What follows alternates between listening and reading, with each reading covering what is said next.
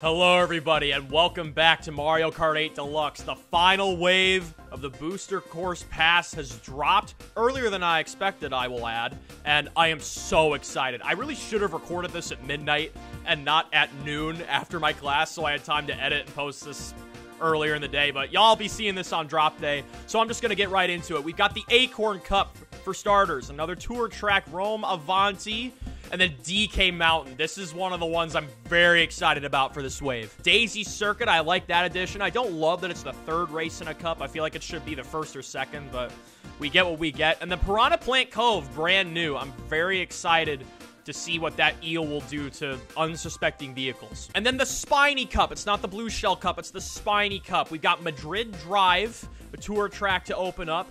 Rosalina's Ice World. This is the track that I am going to judge a majority of this pass on because I'm going to be brutally honest, I do not like this track on the 3DS. I think it's a very punishing track when it doesn't need to be in several spots, and I'll point those out when we drive through. But I'm going to judge this heavily on Rosalina's Ice World. After that, we have Bowser's Castles 3 from the SNES, which just looks amazing in the remake. And then a perfect, perfect fitting end to this entire DLC, Rainbow Road from the Wii. I am hyped. I am ready. Let's drive. So we're going at 150. I know I've done some of these videos at 100, but I that just feels too slow to me. We're just going to do it at 150 and see what happens. We're driving straight into the Coliseum right off the bat. I love it. I love this big curve here. A nice purple boost there. Then more ruins fun flower sign in the middle of all the ruins. Gotta love advertising. I love all the shy guys and the toads hanging out on the side of the road. I see Monty moles poking out of manhole covers like on Airship Fortress. I like that. Now we've got lap two. Every tour track has a different set of three laps. We'll see what this one has to offer. Up the stairs, I like that. You can go one of two ways, I think, on that for part of it. I think that was a bridge shortcut I just passed by. I like that. I'll have to see how to incorporate that on 200. Oh, this will be interesting. Going against traffic and all the bullet bills here. I don't love that, but that's just the way tour tracks are built. And then a sharp left into lap three. That'll really keep people on their toes in 200. Beware of Chain Chomp. Or are we going to go on the battle floor in here? If a red shell would not hit me, that'd be great. Are they actually going to... Yep, they're going to jump out on the sides there. I like that. They're a little bit more confined than I'd like. I would like them to like jump out of the wall a little bit more for more chance of upending people. That'd be a nice chaotic obstacle. But I like that it's there nonetheless. Oh, I like that the little uh, spiny things. I forget what those things are called, but on, on those floating tracks, I like that element. Very good. Very strong start for a tour track. I like that a lot. Very visually pleasing. Lots of nice little things in there. DK Mountain! I'm so hyped for this one. I love this track on the Wii. It is one of my favorite Wii tracks. I know it's uh, GameCube original, but I first raced this on the Wii, and I love, love, love it on the Wii can't wait to dive right into this. I like the Burning DK. Uh, it's kind of behind my face cam, but the Burning DK advertisement into the cannon. What's the cannon gonna feel like? I like it. The little angry mountain face. I like that. Um, I see a nest up there. Is there gonna be a bird or like other stuff that fall because of that? I, I forget if there's a bird up there in the older versions of this that throw the boulders down. I know those start in lap two. I like the revamped music track. I love the way that all this looks. I was not prepared for that boulder. You caught me monologuing, you sly dog. These turns here are going to be really hard on 200, I can already tell, but that's kind of the beauty of the DK Mountain track. The turns are supposed to be difficult. I like the bank right there, just kind of like the Wii. Oh, this is going to throw people off. I forget if it did that on the Wii, moving around like that. Not quite to the sides like that. A little bit more rigid on the Wii, but I like it. I really like this so far. Hopefully I can go full speed through this without being hit by any items. Okay, that's not overly hard on 150, but 200 it will be. I like these banked sides over here. I don't think that turn I had just there had a bank on the Wii. That's going to be terrible on 200, though. But I like that layout. It's really hard to get boosts on that bridge, though. I don't like that. Yeah, this section right here, you even need to break a lot on 150. That's just the way that this track is built. But the rest of it is very visually pleasing. I just know it's going to be terrible on 200. And getting hit with an item on this bridge. I almost got greedy there with the mushroom. That'll be hard. I did hit a boost on that. You probably have to go toward the edges to get a true boost off of that. I'll leave that to the professionals on a regular basis, but that was good. Solid. I liked it. To be clear, I have nothing against Daisy Circuit. I really, really like this track, honestly. I also like the fact that you can kind of go up on that ramp over there and get that lone question block. I lean on that a lot when I play this on the Wii. But I think this track, I don't want to say it's too easy, but it's not a track that really has a lot of margin for error or like you can make a lot of mistakes and really not fall off the map. There should be a lot of like places where you can fall off the map in the back half of circuits just to make it harder and change up the results. So I don't love that this is toward the back half of a circuit. I think there should be the first or second race in a circuit. But honestly, I'm loving the remake so far, everything looks really good. The, the music has an extra layer to it than it did on the Wii. And that's really all I can ask for. So, GG's, very good. I don't take the shortcut much, and that knocks that out. So I'm going to need a green shell for that. I tried to red that. I don't like that there's a piranha plant in front of that shortcut. That's going to cause a lot of problems. And then this blue shell is just going to rock me. Let's see how easily I can stay on this ramp in 150. Uh, not the best turn there. That's going to be almost impossible on 200. We'll try it on 200 when I do this again on stream this weekend, but that's going to be really hard to maneuver. And the Piranha Plant wooden thing respawns on the shortcut. I don't like that. I think that should just be open for people to use. You shouldn't need an item to get into that, because if you run into that Piranha Plant, then it just fully slows you down. But the rest of it's very visually appealing. I like it. Oh, there's the turn that I know and love from the Wii. There we go. That's my favorite turn in this track. That last turn on the ledge. I rode that like crazy on the Wii. Not bad. Not great, but not bad for Daisy Circuit. Brand new track, Piranha Plant Cove. I already love it. I like the architecture. I like the sunken ships, the clams, the skeleton fish. I want to see how much the eel messes stuff up. And are those fish on the top of the finish line going to move at all? I want fish to and eels to wreak havoc. I want to see it. I love the toads and the scuba gear just cheering everybody on. That's so great. There's a split track here. Does that really make much of a difference to what happens? I'm trying to get... I think this is Iggy here, trying to get him to trip up. But there's the piranha plants. Watch out for those on the sides. I haven't seen any fish wreaking havoc yet. Okay, who nadered me? You're going to die.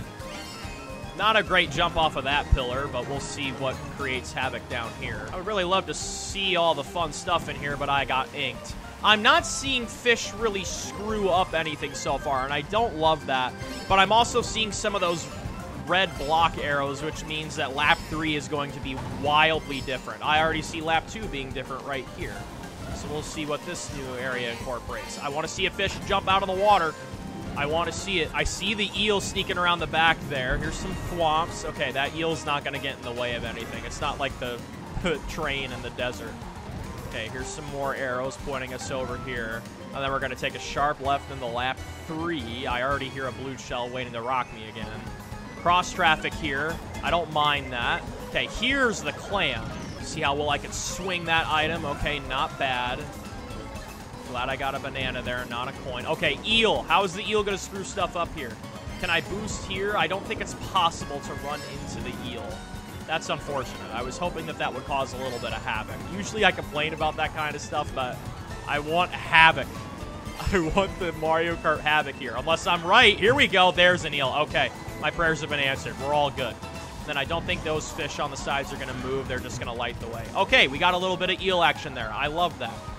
And that is the cup. I love it. Spiny cup time. This is the one that's really going to make or break this last leg of the DLC. I want a good ice world. I want a nostalgic Rainbow Road. And I want a visually pleasing Bowser Castle 3. I have faith that we'll get all three. Very high hopes for this one, very high expectations. So we start out in Madrid. I like the churro stand at the start of it. Oh, I love the flamenco kind of beat here, the 64 sign, Mario 64 nod. I'm loving the way that the music is making me feel for this track. Nice open area. Wiggler! Wiggler for no reason. Okay. Going through a little shopping mall here. I love that one-up fuel sign on the side. I... Can we just talk about why Wiggler is just chilling in a Madrid plaza? There's a piranha plant going through the wall there. A little art museum. I like that. I like all the little sights and sounds here. Okay, is Wig Wiggler's going to cause us trouble on lap three. We're going to go to the right this time after I get nuked real quick. Some thwomps in here by some shops. Yoshi's chilling at the cafe. Okay, maybe this is where Wiggler will be at. Wiggler, buddy, be nice. Okay. I don't know why Wiggler is in Madrid causing problems for everyone. That's very out of place. I don't love that. That was a nice boost there. I don't like that the water didn't boost me up a little bit more. That would have been cool. We'll go through some arches here.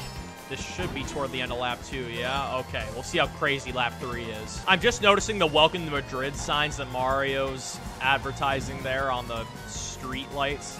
There's a nice monument we're passing there. I, I like the animation style on that. And then we're, yes, football! I love it, love it. And then Goombas are kicking him, love. I love it, love it, love it, love it.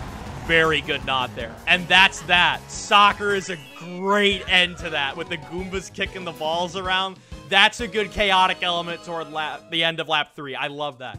I don't think Wiggler needs to be in there, though. That's my one critique, but the soccer tidbit at the end made up for it. Very nice. All right, these last three are going to be big. Rosalina's Ice World. Is this in space?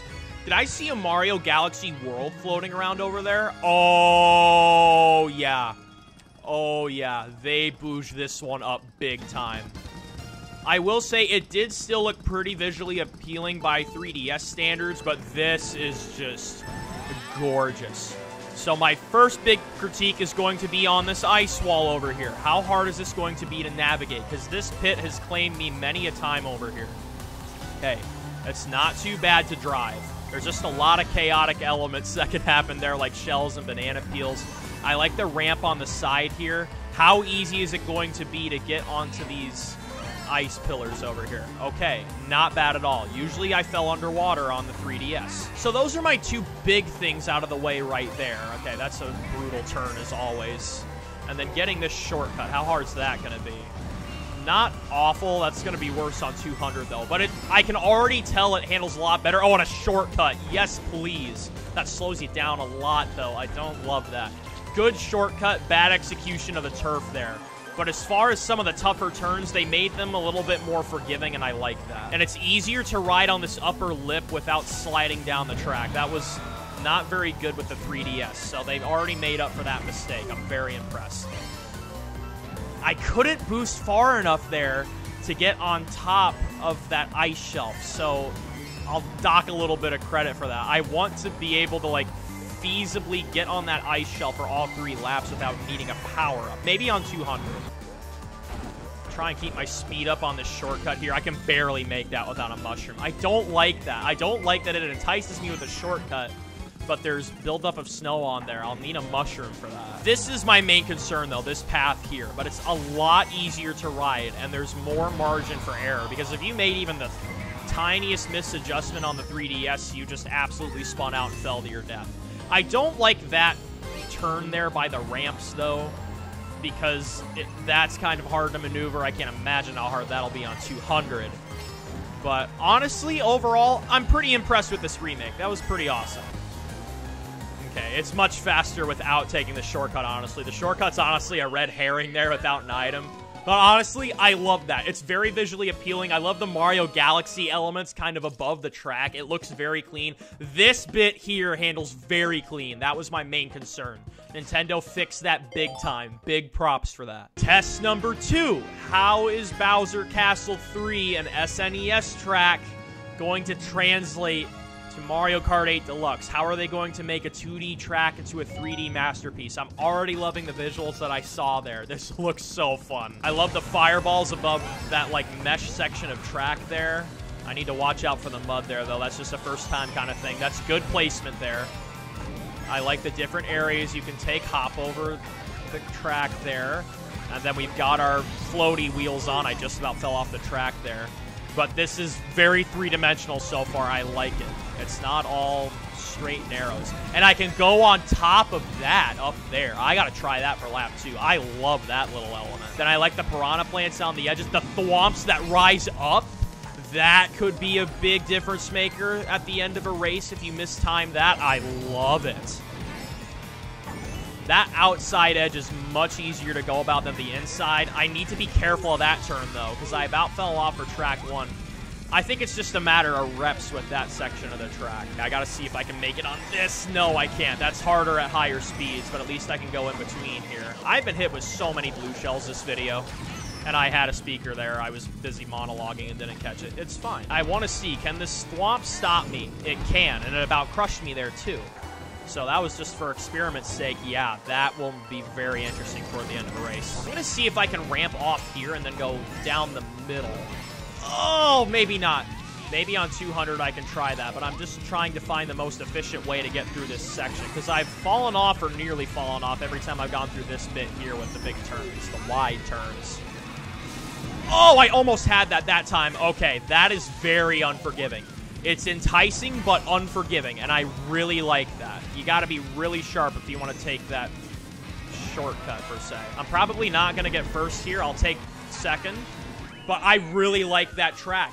It's very visually appealing for 3D. It's challenging toward the latter half of the circuit. It gets harder with courses as you go. I like the build of the circus so far, and it's going to wrap up with Rainbow Road. Tough couple of turns in there, but honestly, I don't mind it with a remake from a 2D to a 3D. It's just a matter of reps. This is going to be a ride. More Mario Galaxy elements with it. The, the little space bit things are very distinct.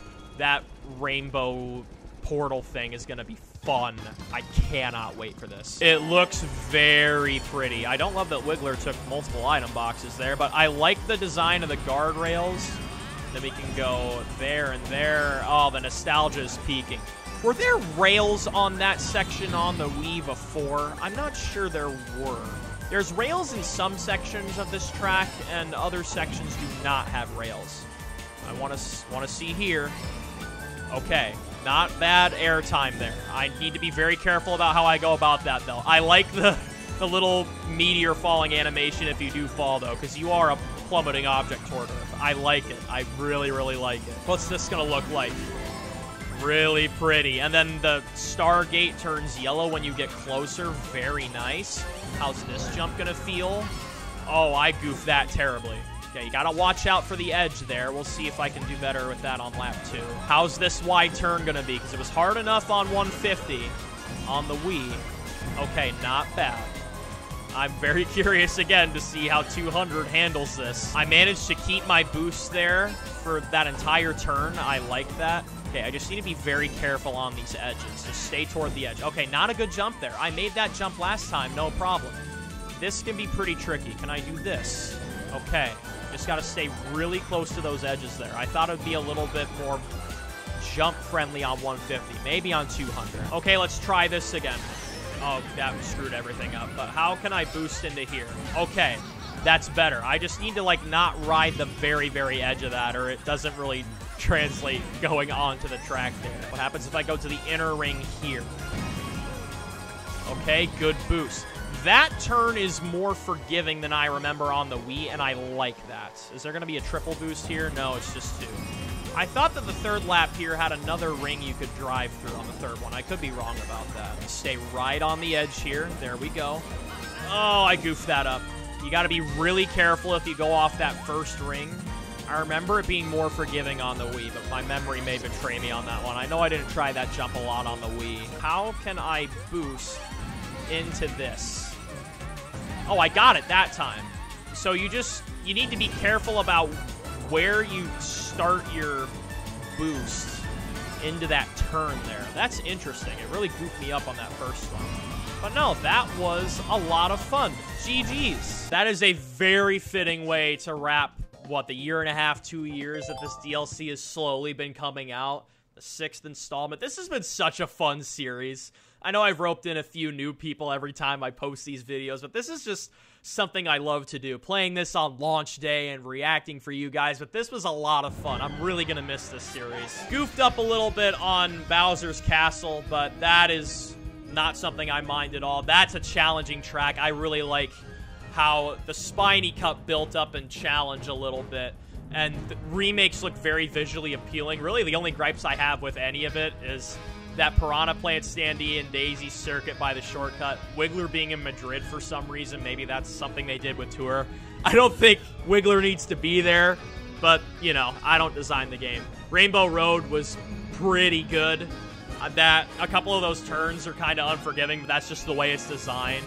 But yeah, that's what I got. Thank y'all for reacting to this with me. If you're watching this for the first time before playing it or seeing it somewhere else, um, I hope you will join me on stream this weekend. I'll be playing this a little bit on stream probably uh, Friday, Friday or Saturday, honestly. I'll spend some time on this this weekend. Hope to see you guys there on the Twitch channel. So thank you for watching, and I'll see you when I see you.